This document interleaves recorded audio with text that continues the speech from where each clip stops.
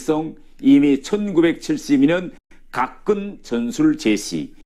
각근 전술이란 남한은 미국과 일본이라는 두 개의 각근에 의해 유지되고 있고 이 중 하나의 각근만 잘라내도 머리에서 가시 날아가듯 남한이 무너지니 반일 프레임으로 한미일 삼각공조 무너뜨리라는 김일성의 대남 전략.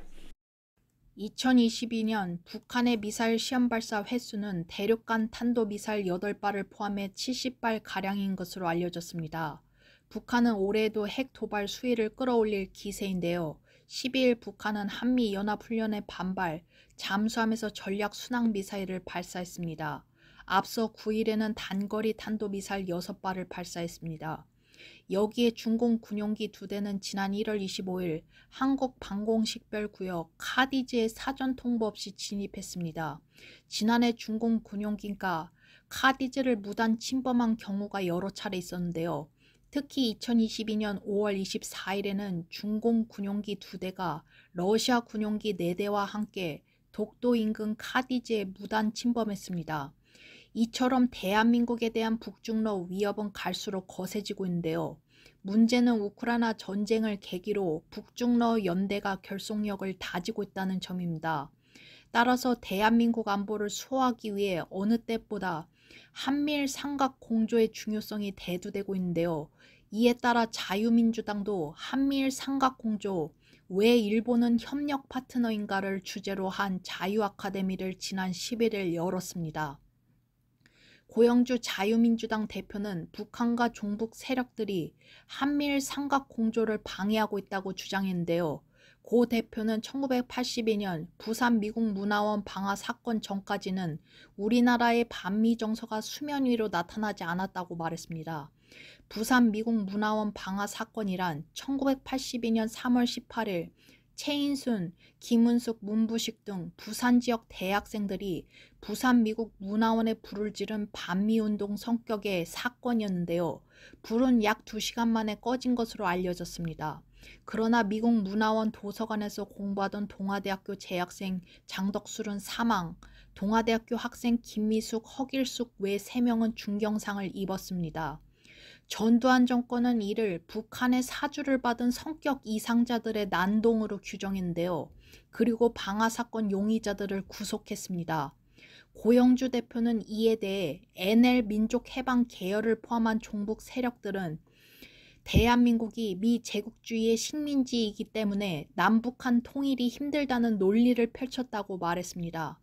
NL 계열은 미군을 대한민국에서 철수시킨 다음 민족혁명을 일으켜 통일을 해야 된다고 주장하는 세력인데요. 고 대표는 NL 계열들이 반미 정서를 일으켜 한미 동맹을 와해시키려고 시도했으나 이는 큰 성과를 거두지 못했다고 밝혔습니다. 그는 이에 종북 세력들이 우회적으로 각근 전술을 펼쳤다고 설명했습니다. 각근 전술은 1969년 김일성이 간척과 공작원 양성소인 금성정치군사대학을 방문해서 한 연설에 등장하는 용어인데요. 김일성은 이 자리에서 남조선 정권은 미국과 일본이라는 두 개의 끈에 의해 유지되고 있다. 사람의 머리에 쓰는 가시 두 개의 끈 중에서 하나만 잘려도 머리에서 날아가듯이 남조선 정권은 미군이라는 끈과 일본이란 끈 중 어느 하나만 잘라버리면 무너지고 만다고 역설했습니다. 즉 각군 전술은 한미일 관계를 와해시키기 위한 대남 적화 전력의 일환입니다. 고 대표는 이러한 북한과 종북 세력들의 의도를 파악하고 한미일 삼각 공조를 공고히 해야 된다고 강조했습니다. 디어 일부 강연을 맡은 이용준 전 외교부 북핵 대사는 한국의 반일 정서, 언론의 비판과 총선 심판론 때문에 정부가 그동안 한미일 삼각 동맹을 맺기 어렵다고 말했는데요. 그러나 이 전 대사는 북핵에 대응하기 위해서는 한미일 삼각 동맹 또는 실질상 이에 준하는 동맹을 맺어야 한다고 피력했습니다.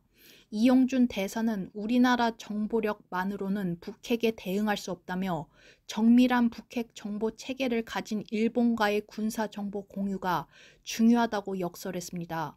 또 이 전 대사는 한반도 전쟁 시 한미 동맹만으로는 역부족이라며 일본으로부터 수송 정찰 군수 물자에서 최소한의 지원을 받아야 한다고 주장했는데요.